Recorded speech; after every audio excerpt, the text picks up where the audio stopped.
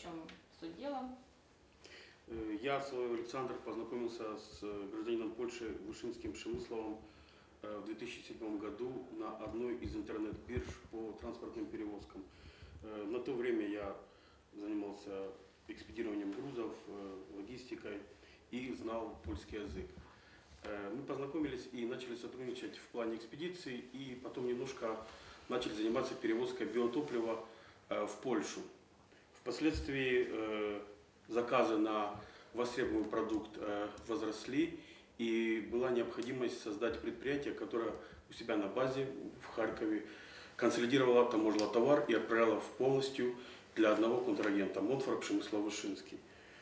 Э, К примеру, э, на девятый год, я обращусь к цифрам, э, за четвертый квартал оборот составил полмиллиона гривен, а уже в четвертом квартале 2010 года оборот составил миллион восемьсот гривен. То есть э, спрос увеличивался с каждым годом, с каждым месяцем на данный товар.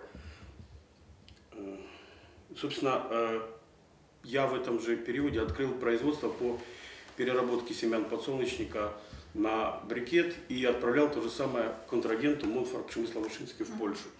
Однако к концу 2010 года я заметил, что э, товара уходило больше, э, собственно, денег поступало от контрагента меньше.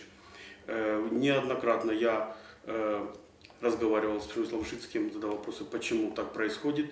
На что был получен ответ, ну, мы еще наверстаем, мы будем работать, то есть еще свое ты получишь. На э, 14 февраля 2011 года его дебиторская задолженность составляла 62 тысячи евро. Э, Об этом свидетельствует э, налоговая проверка, которая была проведена на моем предприятии 5 октября 2011 года. Все это подтверждено документально. И э, одновременно с этим мне, как директору предприятия, приходили уведомления с Приватбанка, потому что если находятся ценности за границей, то, соответственно, банк это все прослеживает и замечания по этому поводу. Приходят требования погасить задолженность. Э, Я прекратил работу с фирмой Монфорг Пшемыслов Вышинский и э, посыпались с его стороны угрозы. Хочешь, мол, разборки с прокуратурой, мы тебя посадим, мы тебя, неизвестно, что они могут с тобой сделать. Это в каком году было? Это было в 2011 году. Где-то, наверное, с мая, да, началось где-то с мая месяца. Угрозы и все такое. Я на то время не понимал, причем здесь угрозы идут от прокуратуры, потому что гражданин Польши, прокуратура в Украине, ну, я не понимаю, какая здесь ну, связь, какая цепочка в этом может быть. Э, Я в дальнейшем узнал, что э, данный гражданин Пшемыслов Вышинский э, проживает совместно с, некой, с неким работником прокуратуры. Правильно это называется старший прокурор отдела участия прокуроров в рассмотрении дел апелляционным судом Харьковской области, советник юстиции Елена Игоревна Шимаева.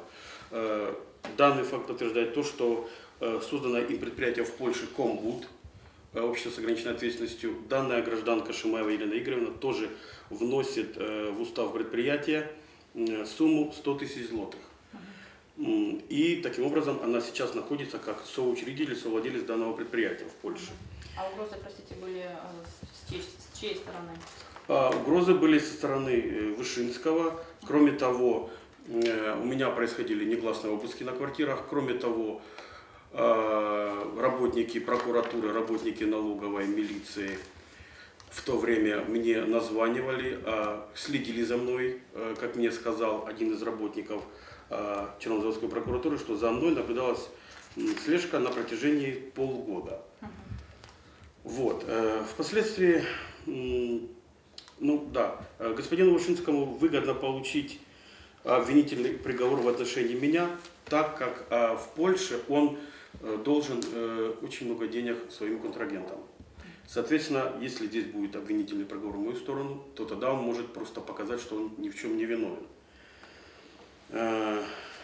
Вот. Ну, со- собственно, было возбуждено следствие, и нетрудно догадаться, чем закончилось досудебное следствие, учитывая статус, статус гражданки Шимаевой Елены Игоревны, которая, по моим э, сведениям, по моей информации, курировала досудебное следствие и также курировала э, следствие судебное.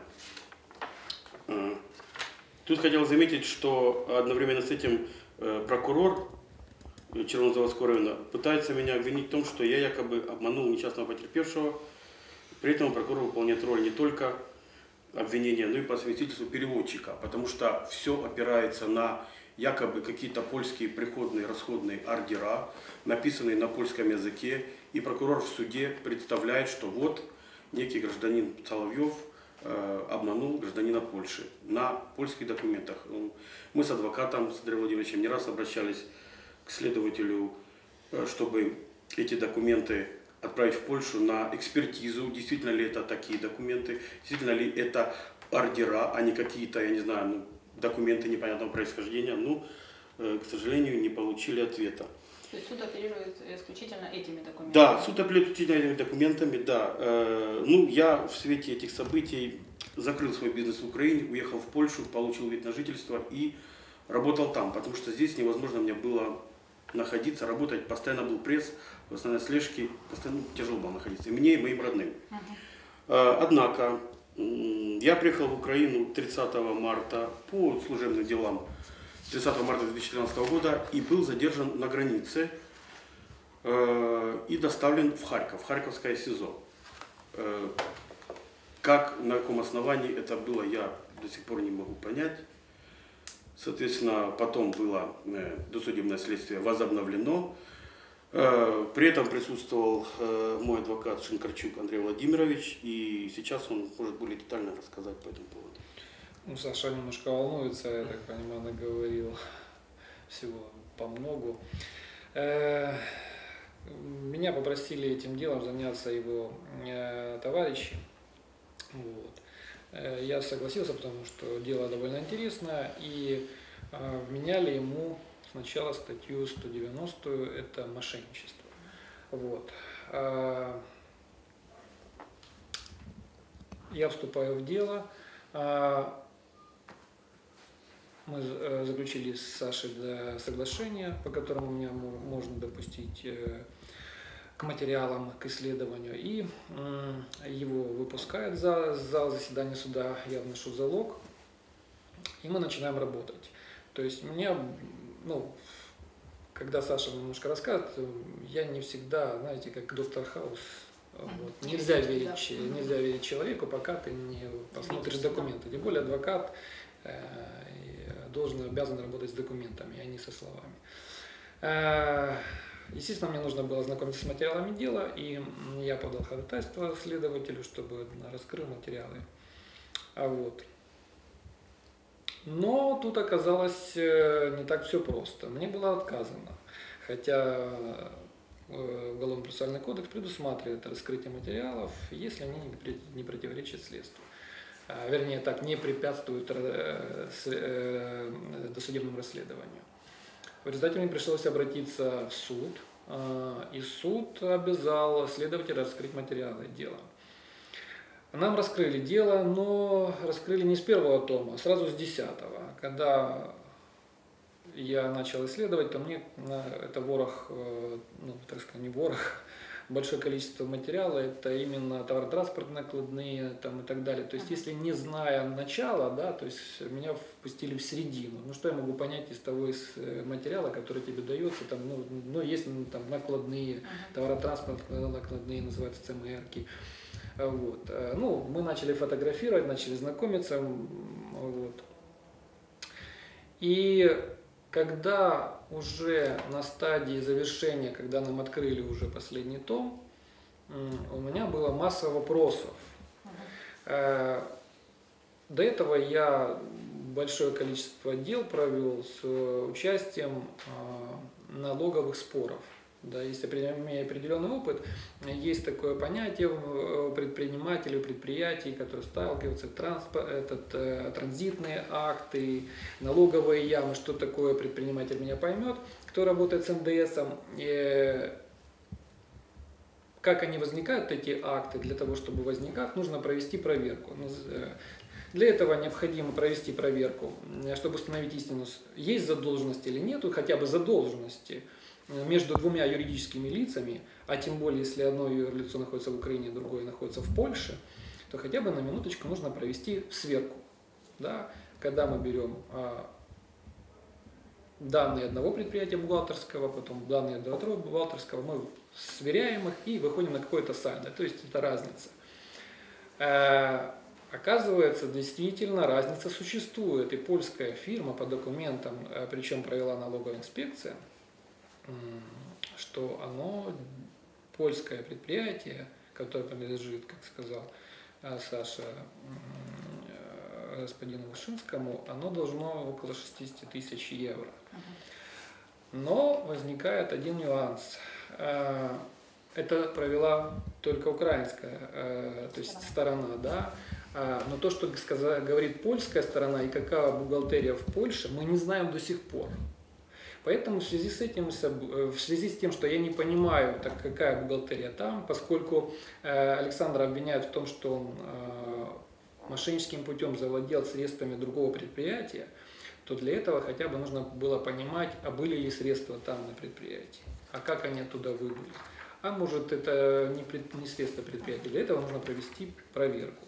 Я подал ходатайство следствию, следователю, чтобы в рамках международного сотрудничества, как предусматривает э, кодекс, э, уголовно-процессуальный кодекс, провести проверку на предприятии, на польском предприятии, э, опросить бухгалтера, э, произвести ряд других мероприятий, которые хотя бы установить, э, э, установить истину в этом деле. Э, в результате? Ну, в результате мне было отказано. Отказано потому, что, оказывается, с этим ходатайством я затягиваю Следствие. досудебное расследование. Ну, тогда я уже не было сомнений о том, что следствие рас- э, ведется однобоко. Да? Э, Ну, если мы хотим установить объективную истину, да, в, э, виновен он или не виновен, то хотя бы нужно вскрыть все материалы. Но э, почему-то следствие велось на основании тех документов, которые предоставил сам потерпевший, в данном случае гражданин Польши. И на основании тех документов, которые он предоставил, проводятся экспертизы. На основании тех документов, которые, э, э, то есть доверие, доверие к документам почему-то именно к, к, к тем, которые предоставил потерпевший. Возникает очень много вопросов. э, Ну, до сих пор еще эк- экспертизы так и не было проведено. И вот этот весь материал на основании всего лишь показаний потерпевшего и предоставив там ряд выписок банка о том, что якобы э, проходили следствия. Да, следствия проходили, но только э, раскрывая немножко, может быть, немножко уделюсь в детали, что такое вне- внешнеэкономический контракт, чтобы вы понимали, это там невозможно наличными рассчитываться. Кто занимался внешнеэкономическим контрактом, понимает, что э, идет контроль со стороны банка, банк должен сообщить в налоговую, должны провестись проверки, если вдруг идет нарушение. Такого понятия, как расчет наличными в внешнеэкономической деятельности не существует, нету его. Э, А но тут то же- идет речь о а том, здесь что речь идет, здесь речь идет о том, что э, госп- э, были предоставлены документы, в которых на польском языке написано, что это кассовые ордера. Как мы потом оказалось, выяснили уже в процессе рас- э, судебного разбирательства, на досудебном расследовании этого не было сделано. То есть то, что это были, э, ну, мы польского не знаем, Саша польский знает, да, но вот я, допустим, не знаю, а следователь тоже не знает. Нарушения Вот, понимаете, когда вы берете документ на польском языке, э, вы там для себя как бы понимаете немножко суть, но все ли вы до конца понимаете? Для этого должен делать специалист. Если мы говорим там зубной врач, он должен заниматься зубами, а не строительством. Да? То есть следователь должен был эти все документы, если он некомпетентен, но нет образования, передать э, там, переводчику. Переводчику были переданы документы, но только переданы две или три бумажки. А их там 54 на минуточку, их надо было перевести. На основании вот э, дальше бухгалтеры, что было для меня в, как бы, ну, я до сих пор улыбаюсь и понимаю, что ситуация для него не очень приятная, потому что ему грозит э, довольно большой срок. Какой? Да. Э, До сколько? От семи ему? до 12. От 7 до 12 лет. Мгм. решение. Да. Поэтому, но Я как э, там юрист, адвокат, который немножко знаком с документами, с бухгалтерским учетом и так далее, но мне было смешно читать заключение бухгалтера, обычного бухгалтера, который дает свое заключение на основании документов, которые не, не переведены на украинский язык, ну или хотя бы на русский язык, да, чтобы было читаемо, понятно. Скажите, ваши, да, подписи, печати, все сходилось или... А вот тут интересный момент. На тех документах, которые предоставил потерпевший, имеются подписи, имеются печати, причем печати того предприятия, которым владел Александр. Но когда была проведена экспертиза, то эксперт сказал, что установить действительно ли это подпись Александра на этих документах, которые были предоставлены потерпевшим, не представляется возможным, то есть невозможно. То есть фактически То есть, э, ну, вариант, что это это не, не- не Александр. Совершенно верно. То есть есть сомнения в том, что это сделано Александром. Более того, э, в, ну, как утверждает сам потерпевший, что они были заполнены уже после, э, после так скажем, тех снятий денег, о которых он говорит, что здесь снимались в Украине деньги, вот, и он утверждает, что это сделано было Александром. Вот. А документы оформлялись потом. Чтобы, там, чтобы вы понимали, э, мы, поскольку уголовное дело ведется здесь, на территории Украины, то мы рассматриваем дело в рамках э, нашего национального законодательства. Наше национальное законодательство гласит о том, что э, выдача наличных средств да, может идти только через кассу предприятия. И в тот день, да, в, в котором выдается. То есть, э, если вы это придете- легко то есть- проследить. да, конечно. И вы берете обычную кассовую книгу на любом предприятии, и в, там есть кассовые ордера, они подшиваются. То есть и можно определить, какой день там, вы- выдавались деньги с кассы. Чтобы деньги день в день не выдавались с кассы, тогда выдаются там доверенному лицу, который едет и вручает их э, там, другому а человеку. документы можно проверить на, на сегодняшний момент? Э, Польской стороны. Да, польской стороны. Вот э, вы знаете, я думаю, что уже нет. Мгм. Почему нет? Я думаю, не будем пока говорить или будем говорить. Почему нельзя проверить это предприятие? А, Да я думаю, что не стоит пока говорить об этом.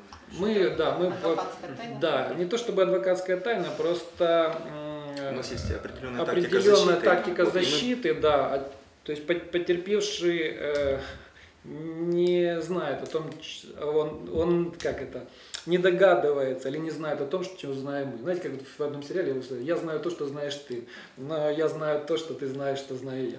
Вот.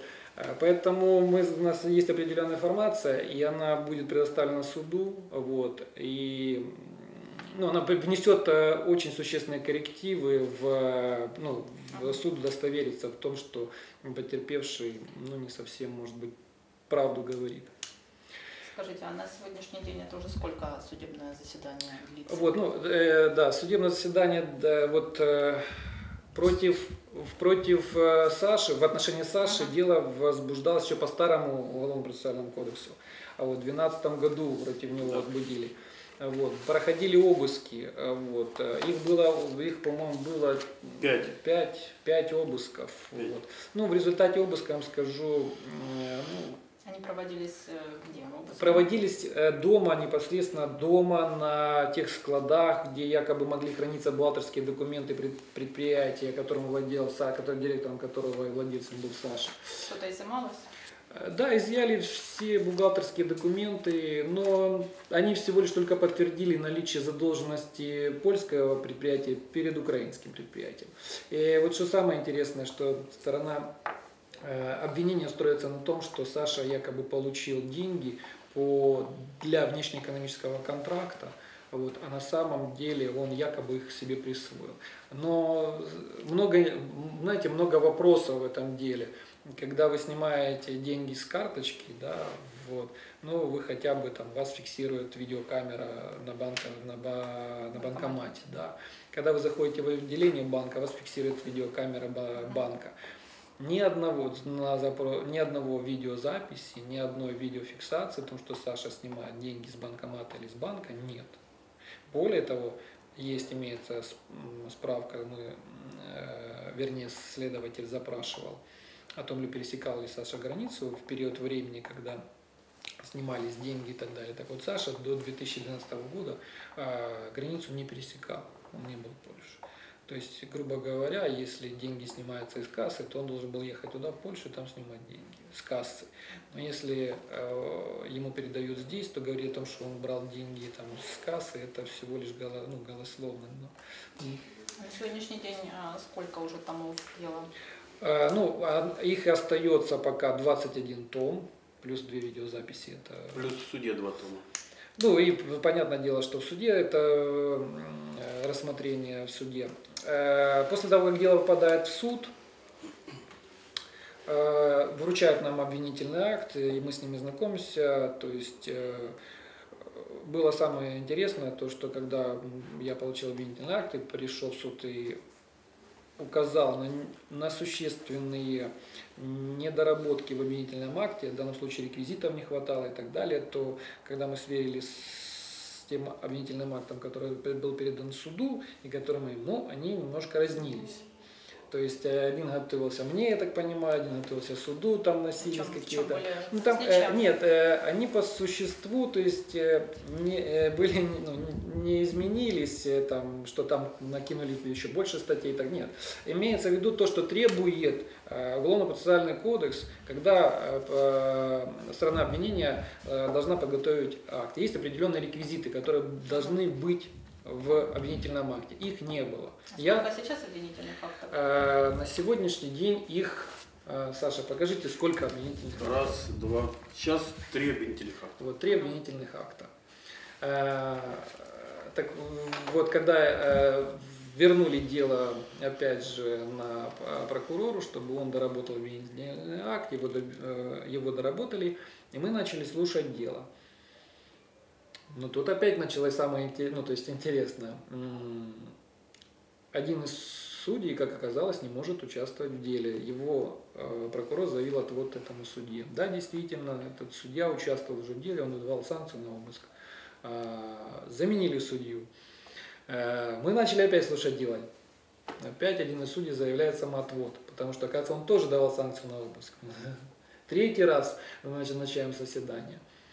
И третий раз э, вновь э, назначенный судья, у нас автоматизированная система назначения, заявляет самоотвод, потому что он, э, опять же, не может участвовать в связи с тем, что он давал санкцию на обыск. То есть четыре, затягивается. че- не, э, дело ведь не, не, дело здесь уже чисто, понимаете, в э, настолько было желание, так понимаю, стороны э, обвинения, так сказать, э, собрать хоть какой-то материал, что они проводили обыски везде и всюду, все можно, понимаете, и когда, И когда всех- всех все- судей. всех судей, которые можно, ну не всех, но пол- половину Почти состава суда они Да. использовали, ну, вернее, поучаствовал в этом деле, потому что э, когда предприятие ведет хозяйственную деятельность, не, ну, не нужно проводить 10-15 обысков, достаточно там пос- поставить прослушку, там, я не знаю, установить наблюдение и так далее, выяснить, где находятся документы, потом, чтобы их прийти и взять. Вот. Это в, в рамках следствия достаточно там, э, спецсредств и так далее, чтобы ими воспользоваться.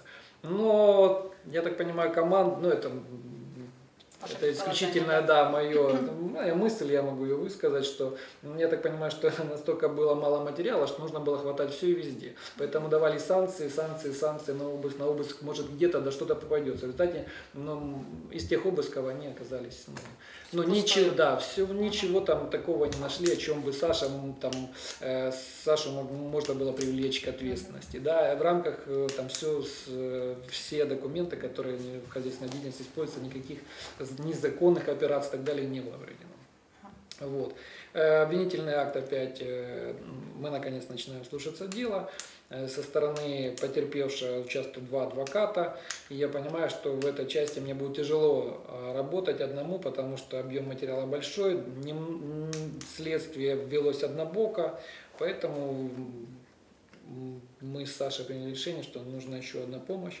И мы обратились к Александру Лещенко, мой коллега, вот, чтобы он помог нам немножко разобраться. Ну, Саша, передаем Саше словом. Когда вы присоединились? Э, В э, январе 2014 года, Мгм. по-моему, 15 января 2014 года, ну, уже на стадии, на той стадии, когда э, дело уже слушалось в э, суде. А, нет, извините, ну, 8 января 2014 года. Вот, на той стадии, когда уже дело слушалось в суде. Э, Я, честно, э, только знакомился с материалами дела, наверное, месяца три. То есть я обрабатывал ту информацию, пытался понять, э, в чем же все-таки на самом деле обвиняют Александра. Потому что на самом деле э, информация очень э, разношерстная, даже разноплановая. И сверить, насколько этой информации достаточно для того, чтобы обвинять человека в совершении преступления, за которое, за которое предусмотрено лишение свободы до 12 лет, ну, нужно достаточно большое количество времени. Вот. э, Ну и уже э, после того, как были исследованы мной документы, э, параллельно начинали проводиться судебные заседания, потихонечку начинали допрашиваться свидетели. Вот. И к этому времени я пришел к практически стопроцентному убеждению, что человек невиновен. Вот. А, Вернее, я пришел к убеждению, что человек невиновен, просто и я был уверен, что и для суда это будет понятно, исходя из материалов дела. Это было где-то а, конец мая, начало июля э, 2014 года. А К этому времени мы допросили э, четырех э, из э, пяти свидетелей, вот, и остался пятый свидетель, э, э, господин Алексей э, Константинович, если не ошибаюсь. Алексей Иванович Дедковский. Ага, вот, значит, Алексей Иванович Дедковский, вот как правильно заметил Александр, э, он является свидетелем, которого вообще изначально заявляли мы, Э, вот, э, просили допросить. Э, Сторона обвинения не просила его допрашивать. Ну, мы в, в процессе э, Кем он является? а, Он раньше работал директором на э, предприятии Монфорт Украина, э, которое принадлежало Александру. Вот. Э, Мы пришли изначально к мнению, что было бы желательно его допросить, но э, в процессе, опять же таки, я повторюсь, э, изучения материалов мы поняли, что и существующих материалов достаточно, чтобы доказать невиновность Александра. И поэтому мы отказались прямо в суде, сказали, что нам неинтересно его допрашивать, мы считаем, что всех материалов более чем достаточно, для того, чтобы человека оправдать. Тут вскочил прокурор и сказал, что он считает, что этот свидетель ключевой. Вот, на вопрос суда, что же такое этот свидетель может э, пояснить суду, э, прокурор э, аргументированно сказал, мы считаем, что этот свидетель ключевой. Вот. Ну и после этого судом была удовлетворена просьба прокурора и вызван этот свидетель. И вот тут начались, ну, по моему мнению, довольно-таки серьезные процессуальные нарушения прав Александра. Вот. э, Эти все э, моменты мы отображали м, в жалобах и в прокуратуру Червонозаводского района, и в жалобах э, в адрес областной прокуратуры, и даже в адрес Генеральной прокуратуры. Вот. Но на сегодняшний день единственная э, организация, которая нам э, помогла, это э, уполномоченный Верховной Рады по правам человека, которая единственная, единственная организация, которая отреагировала э, полно и э, запросила всю информацию э, о состоянии дела. Вот. Э, В обращении к уполномоченному мы указывали, что э, Чернозаводским районным судом э, постановлялось 8 ухвал о приводе свидетеля Дедковского Алексея Ивановича. Вот. Э, Поскольку человек, э, ну, по данным э, стороны обвинения, то есть прокуратуры, не проживает по своему адресу. Так вот, э, я прошу обратить внимание на то, что из восьми ухвал суда, то есть, а это ухвала суда, э, это она имеет силу закона, и невыполнение этой ухвалы влечет за собой уголовную ответственность, э, предусмотренную статьей 382 Уголовного кодекса Украины. Так вот, а, из восьми этих ухвал э, выполнялось четыре.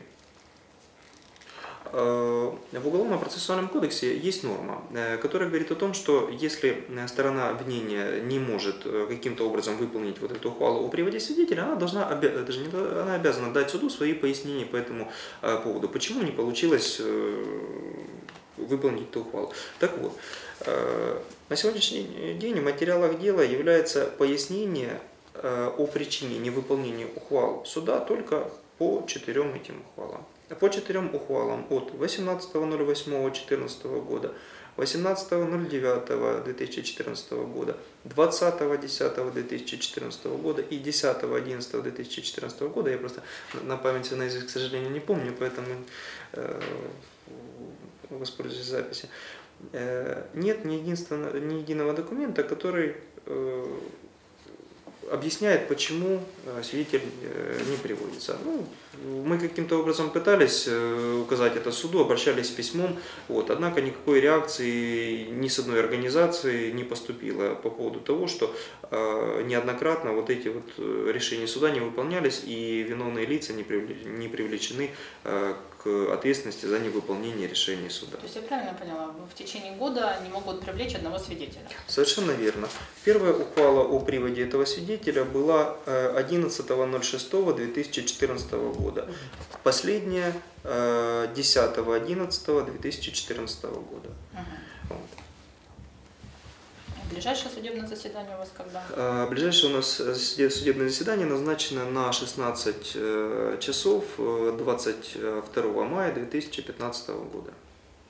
И на, на нем должны заслушать как раз этого свидетеля, да? Ну, мы надеемся. Мы надеемся, что, раз да, что, что, что все-таки да. на, на... То суд переносится именно по этой причине или указывается не только, иные... э, не только. А, в определенный момент э, начались э, следующие нарушения. А, изначально, как вот э, указывал Александр, его обвинили в том, что он совершил 12 преступлений. Это какие? А, это создание фиктивного предприятия. Якобы он создал целых три фиктивных предприятия. Одно юридическое лицо, Александр, название я просто дословно не помню все. Э, Митранс. Э, Митранс, юридическое лицо под названием Митранс. И э, два э, предприятия, физические лица предприниматель, предприниматели, субъекты предпринимательской деятельности. Вот, два. А дальше его обвинили в том, что он совершил мошенничество, эта ответственность предусмотрена статьей 190 Уголовного кодекса Украины. Э, совершил э, завладение э, имуществом, используя свое служебное положение, в ответственность за что предусмотрено статьей 191 Уголовного кодекса Украины, и совершил 7 эпизодов по легализации средств, полученных преступным путем. Вот. То есть я, честно, когда увидел обвинительный акт с таким количеством преступлений, я даже испугался. Я подумал, ну ничего себе преступник, товарищ Александр. Вот. Скажите, пожалуйста, в обвинительных актах э, эти 12 так и фигурируют, фигурируют э, обвинительных?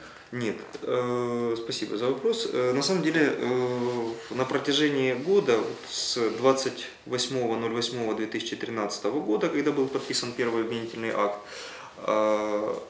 прокурор поддерживал, настаивал на том, что Александр совершил именно эти 12 преступлений.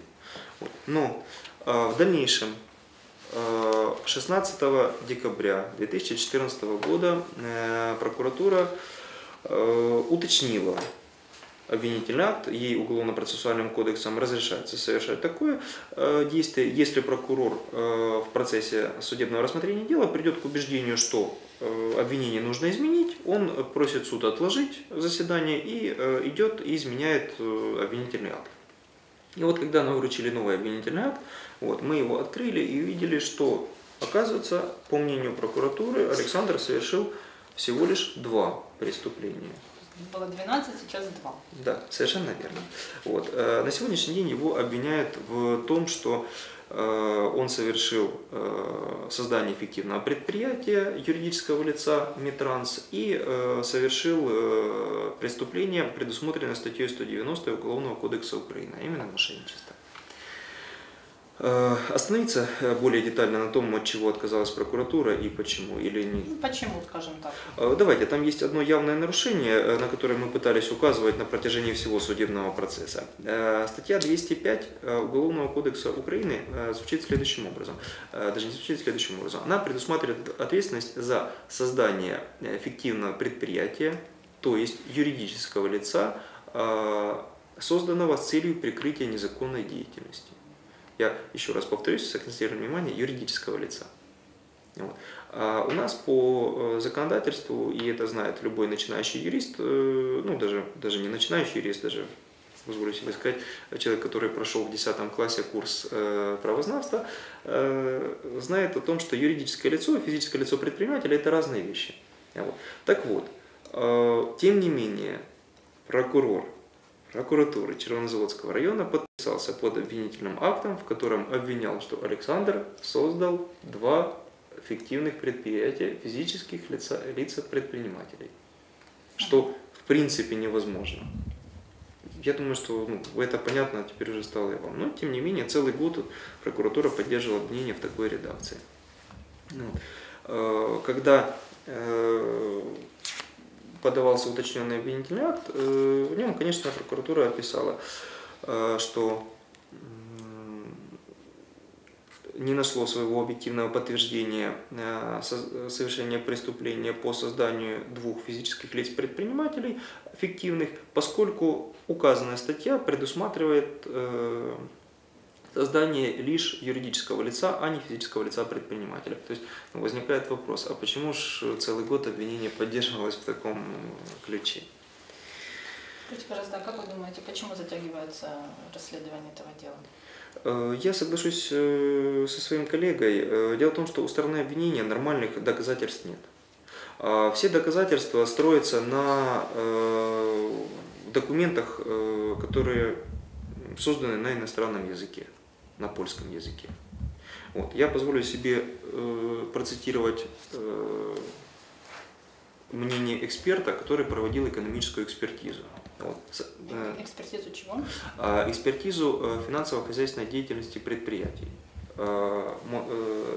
Предприятие Александра и предприятие Монфорд Вышинский, которые вот в Польше. Вот.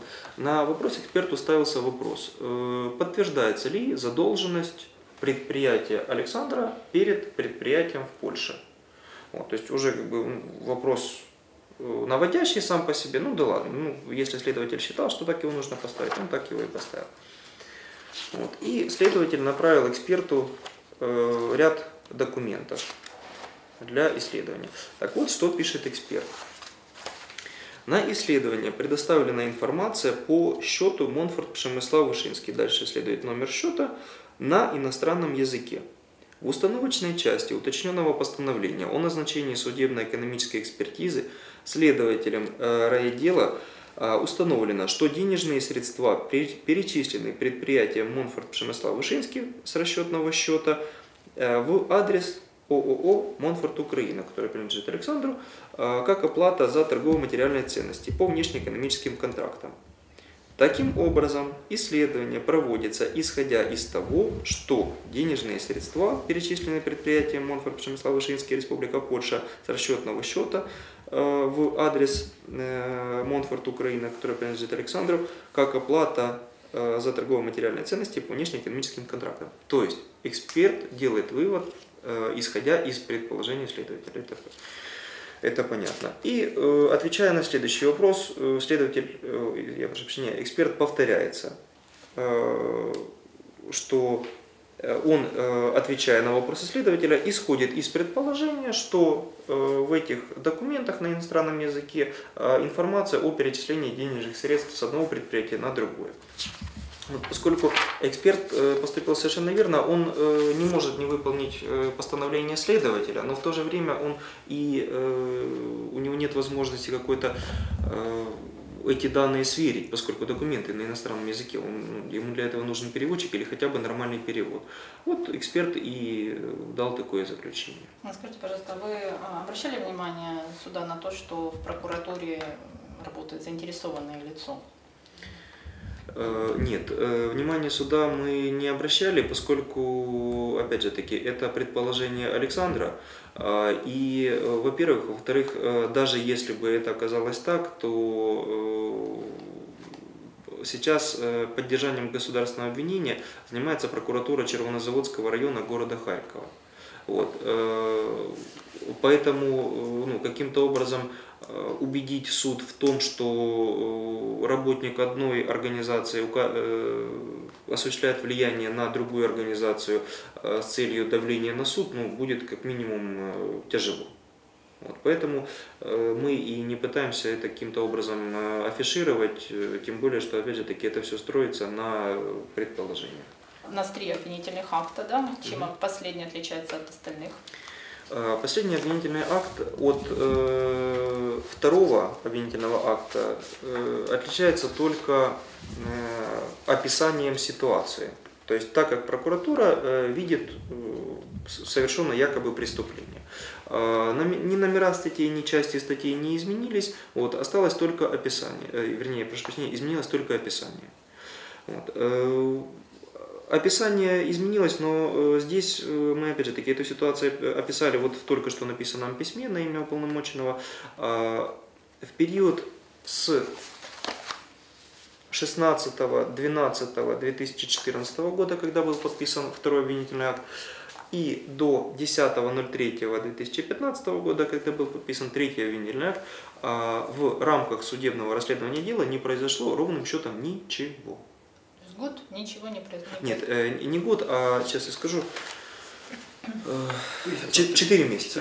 Четыре месяца. Не произошло ровным счетом ничего. То есть прокурор, когда поддерживает государственное обвинение, он когда э, видит, что что-то поменялось, кардинально или не кардинально, ну, в общем, что-то поменялось. э, Показания свидетелей, либо дополнительные какие-то документы, которые дают основания, чтобы пересмотреть статью. э, чтобы пересмотреть свою позицию обвинения. А Прокурор берет тайм-аут, э, просит суд и говорит, дайте мне время немножечко на то, чтобы я поменял свое обвинение или, может быть, вообще отказался, а вдруг человек невиновен. Так вот, э, осенью 2014 года прокурор взял тайм-аут и сказал, я хочу изменить обвинительный акт. И он его изменил, убрав 10 из 12 э, преступлений.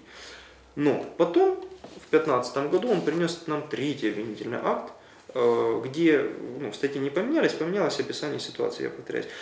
Так вот, я обращаю внимание на то, что в период с декабря 2014 года по 10 мая 2015 года у нас в судебном заседании не произошло ровным счетом ничего. То есть не были допрошены никакие новые свидетели, а не было предоставлено никаких новых документов. У нас состоялось, э, я записи искал, раз, два, четыре, пять, шесть, семь, семь судебных заседаний. Э, Каждое заседание длилось ну, приблизительно вот 41 секунду, 3 минуты длилось судебное заседание, 5 минут, 6 минут, 1 минута. Э, 21 минута это вот вручался последний обвинительный акт.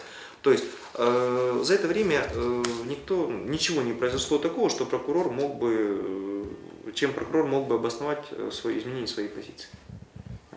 А, Поэтому, ну, как мне кажется, это как минимум э, ну, непрофессионально. То есть, ну, вполне Ну, возможно. возникает, э, извини, перебил, Да. возникает э, вопрос, э, так действительно Саша совершал преступление? Или это может быть видение Мгм. кого-то, чье-то умозаключение, а может быть кто-то специально, целенаправленно пытается навязать или, так сказать, закрыть, навязать свою точку зрения, да, следствию. Причем следствие, э, сторона обвинения прислушивается к одной точке зрения, причем игнорируя вторую. А Вот. Э, К сожалению, мы оказались на той стороне, где нашу позицию игнорируют. И э, мы в связи с этим и вынуждены были обратиться, так скажем, придать огласке этот, э, это дело, ибо если бы вы почитали обвинительный акт, то я Александру говорил, это было, ну, честно говоря, смешно. Тогда нужно было, можно спокойно поднимать все материалы э, хозяйственных споров между юридическими лицами, которые лежат в архиве э, Харьковского э, хозяйственного суда, да, э, хозяйственного суда, суда Харьковской области, и возбуждать все уголовные дела в отношении тех лиц, которые не рассчитались своими контрагентами. Вот. Э, Пожалуйста, то есть 191 завладение денежными средствами. И еще один маленький момент для тех, для адвокатов, юристов, которые там будут смотреть этот материал читать. Э, э, Сторона обвинения Александру вменяют две статьи. Ну, мы с Сашей обсуждали вопрос, э, э, что такое растрата и что такое мошенничество. Э, Вот для меня это две взаимоисключающие статьи. Либо человек украл деньги, либо человек их получил, но растратил не на те цели, на которые они предпола- предполагались. Так вот, в материалах дела нету не Противоречия, противоречия, да, они не подтверждают. То есть ста- Этих документов, которые явля- э, есть в материалах дела, они не подтверждают ни одну, ни вторую, э, ну, э, э, не подтверждают эти статьи, 191, 190. То есть они, грубо говоря, с э, сшиты, ну, можно так сказать, в кавычках, Ага. сшиты э, для того, чтобы Сашу э, предъявить это, ну, предъявили это обвинение.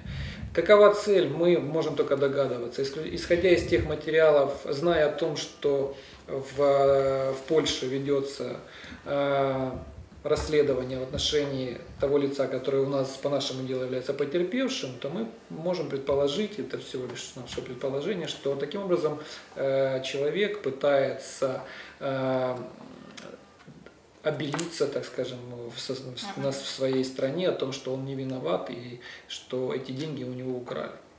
А так называемый потерпевший он находится сейчас на территории какого Мы государства? не знаем, потому что он пересекает, очень часто ездит сюда в Харьков и в- бывает на заседаниях, потом снова ездит в Польшу и так далее.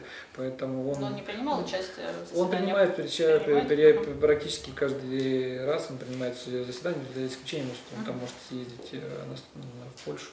Мгм. А, Вот. Для вас граница закрыта. Ну, слава богу, пока нет, граница для него открыта, он может перемещаться. Единственное, что на него возложена обязанность являться в судебном заседании. И, э. Мы выполняем все, все то время, которое э, Саша нахо- находился под следствием, и находится в, э, сейчас, сейчас в суде рассматривается, он э, ни одного не дал повода, чтобы усомниться в том, что если бы, я понимаю, если бы Саша скрылся там или не приходил, тогда можно было бы его обвинить то, что он сюда скрывает. Э, Саша выполняет все требования Уголовно-процессуального кодекса, которые требуют. Он являлся на все повестки, более того, в субботу даже в субботу, да, Праздничные дни, в праздничные субботу, дни да, в да, субботу приходили к, с- э, к следователю. Вот. Но я уже не стал, мы уже, э, я не стал, так сказать, нагнетать обстановку по, по, по определенным нарушениям, поскольку думал, что это всего лишь, ну, не дойдет дело до суда, это всего, ну, ис- исходя из тех материалов дела. Но, как оказалось, э, кто-то настроен очень решительно, чтобы Александра, так скажем, признали виновным.